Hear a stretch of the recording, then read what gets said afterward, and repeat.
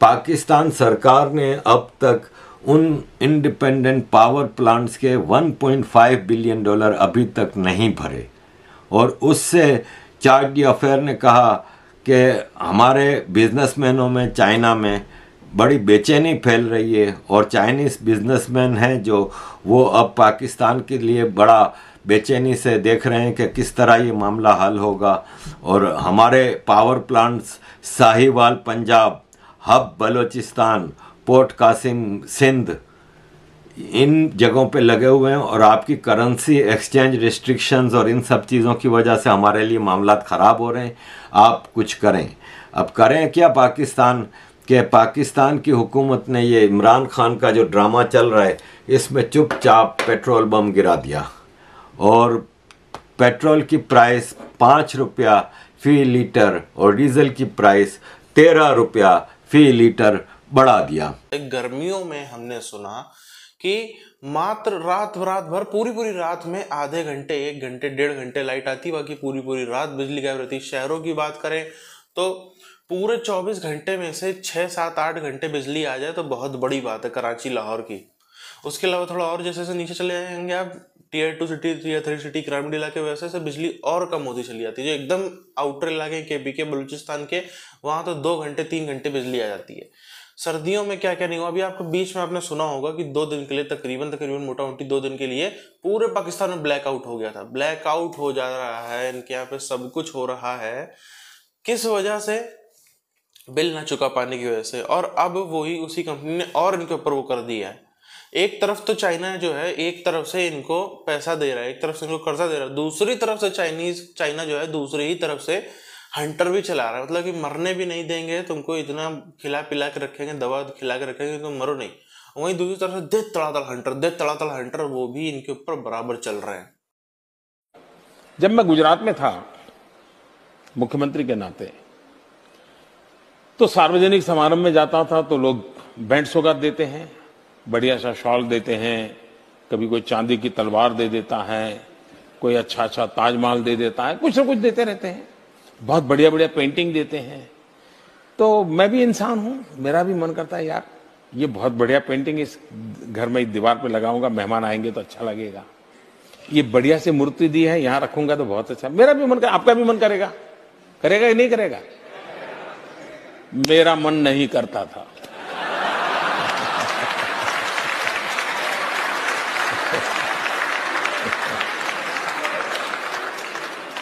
और मैं ये सारी चीज़ें सरकार का जो ट्रेजरी होता है, तोशा खाना बोलते हैं, उसमें डाल देता था।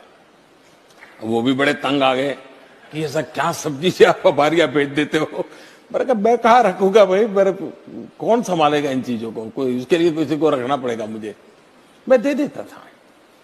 फिर मैं उसका वैल्यूएशन करवाने लगा। फिर मैंने उसका ऑक्शन करवाना शुरू किया। हम लोग जानते हैं हिंदुस्तान में राजनेताओं के साथ ऐसी बातें, सब सच होती है, सभी मैं नहीं कहता हूँ, सब झूठ होती है, ये भी मैं नहीं कह सकता। लेकिन ये तो होता है कि यार वो फलाना था, इतना ले गया। लेकिन मैं गर्व से कहता हूँ कि जब मैंने गुजरात छोड़ा था तो ये जो मुझे मिलती थी चीज़ें, मैं उसका लगातार ऑक्शन करता था पब्लिक में। और ऑक्शन करके उससे जो पैसा आता था वो मैं गर्ल चाइल्ड एजुकेशन के लिए सरकार में डोनेट कर देता था।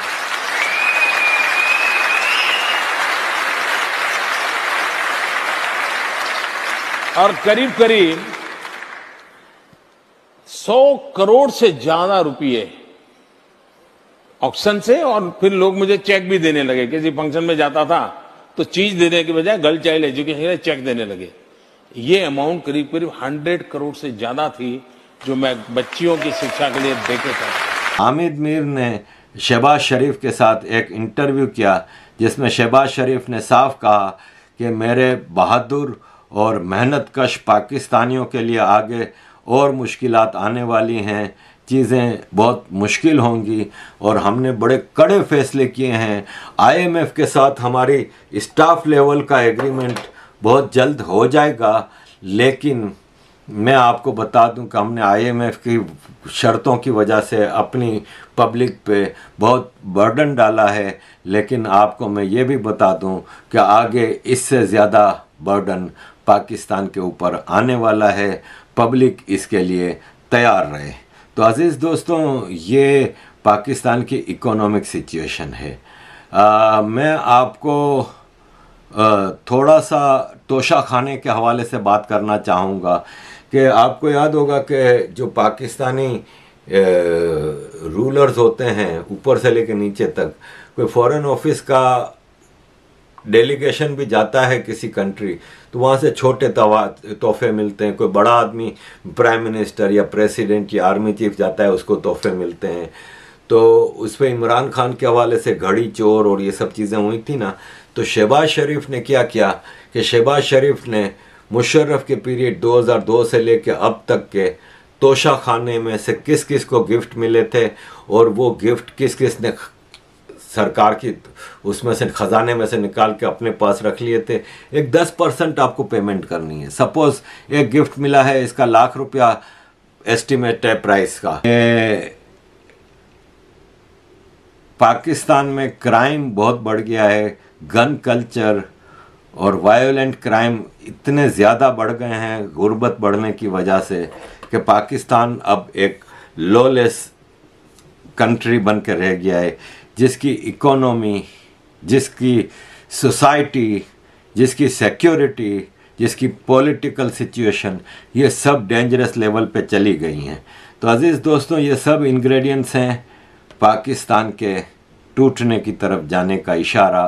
ये सिर्फ़ अमेरिका की इंटरनेशनल पॉलिटिक्स की वजह से अभी तक पाकिस्तान चल रहा है।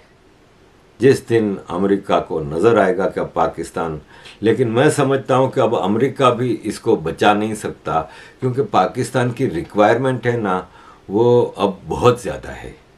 और पाकिस्तान को खाली कर्जे की रीपेमेंट के लिए इतना पैसा चाहिए हर महीने कि पाकिस्तान कब तक रीशेड्यूलिंग करेगा? रीशेड्यूल का मतलब ये होता है कि इस महीने जो ड्यूज़ हैं, वो मैं छः महीने बाद या एक साल बाद, फिर अगले महीने के ड्यूज छह महीने बाद, एक साल बाद, कब तक? कब तक?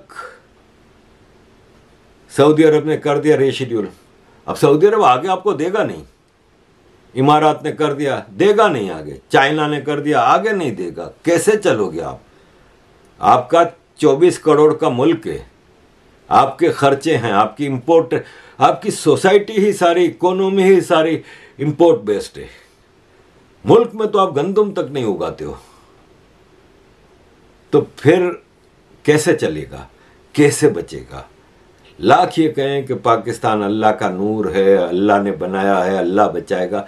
Allah is no more interested Allah बिल्कुल इंटरेस्टेड नहीं है। अगर इंटरेस्टेड होता तो यह हाल होता पाकिस्तान का। एक तरफ़ तो आपने अभी खबर सुनी होगी कि जो आईएमएफ ने लिखित में गारंटी मांगी है कि गारंटी लेकर क्या आओ कि बाकी सारे देश जो हैं वो तुम्हें कर्जा देंगे और अपने पहले फॉरेक्स रिज़र्व बढ़ाओ।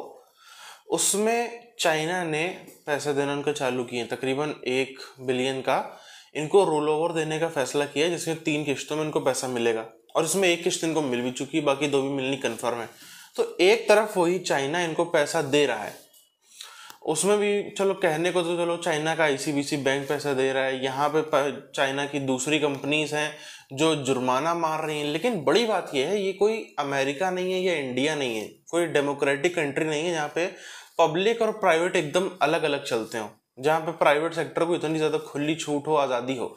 चाइना जैसे देश में प्राइवेट सेक्टर की अगर अगर हम बात करें प्राइवेट सेक्टर की तो प्राइवेट सेक्टर में कोई कंपनी छींक मारने से पहले भी डरती है। कोई फैसला लेने से पहले डरती है। इंडिया में तो आप देखो ना, क्या होता है? इंडिया में कोई बिजनेसमैन होगा, अपने नाती पोते को पैदा करवा लेगा, विदेश की सरजमी पर आपको पता है इंडिया में मैं नाम नहीं लूँगा, लेकिन अभी रिसेंटली एक बहुत बड़े रईस हिंदुस्तानी ने किया है। क्यों किया है? ताकि वहाँ पे उनको टैक्स में उस, वो जो बच्चा बड़ा होगा, कल को उसको वहाँ की नागरिकता मिलेगी, उसको कम टैक्स देने पड़ेंगे हिंदुस्तान में। ज़्यादा टैक्स देने पड़ते हैं। इसी तरीके से और भी कई सारे, जैसे हम सीरम इंस्टीट्यूट वाले को आप देख लो, ऐसे कई सारे लोग हैं इंडिया में कुछ घपले, कुछ भी करेंगे, थोड़ा भी ऊँचा नीचा हुआ, सरकार से विवाद हुआ, सीधे उठ के विदेश भाग जाते हैं। विदेश में भी खास तौर पर लंदन भागते हुए इस समय नज़र आते हैं। चाइना में आप ना ढूंढते रह जाओ कि कितने चाइनीज़ बिजनेसमैन जो है वो वहाँ की सरकार को आके दिखा के लंदन भाग गए, आपको ढूंढते ढूंढते नाम नहीं मिलेंगे। क्यों? क्योंकि वहाँ पे आसान नहीं वहाँ का पूरा खानदान निकाल करके उल्टा लटका देते हैं। वहाँ इतना आसान नहीं सरकार के खिलाफ जाना। तो ये सरकार ही करवा रही, सरकार की मर्ज़ी से ही जो भी हो रहा है, बिना सरकार की मर्ज़ी से, चीन, बिना चीन की सरकार की मर्ज़ी के कोई एक पत्ता भी नहीं हिल सकता वहाँ पे। तो चाइना का एक तरफ़ कहना है कि हम तुमको मरने भी नहीं देंगे। और दूसरी तरफ़, जहाँ हमको पता चलेगा कि तुम मरने से बच गए, तुम्हारी साँसें चल रही वहीं हम तुमको कोड़े पे कोड़े कोड़े पे कोड़े मारते रहेंगे। तुम्हारी खाल भी खींचेंगे, तुम्हारे नाखून भी उखाड़ेंगे, तुम्हारे बाल भी नोचेंगे। लेकिन जहाँ हमें पता चलेगा तुम निपट रहे हो, हम फिर से तुमको थोड़ा सा जैसे दवा पानी कर देंगे, जिससे तुम मरोगे नहीं। यही पाकिस्तान और चाइना की जो सो कॉल्ड समुंदर से गहरी पहाड़ों से ऊँची, इससे ये शायद से मीठी वो दोस्ती है, ये वो ही है, जिसमें पाकिस्तान की स्थिति अब ऐसी ऐसी ये अभी आप देखना, चंद महीनों में पाकिस्तान की स्थिति इससे भी बड़ी बदतर होने वाली है, जो चाइना, पाकिस्तान की दोस्ती। चाइना है ही ऐसा।